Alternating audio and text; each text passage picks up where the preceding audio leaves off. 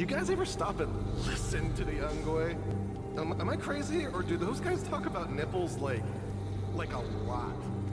Like all day long, it's just nipples, nipples, nipples. Can it? Five minutes later.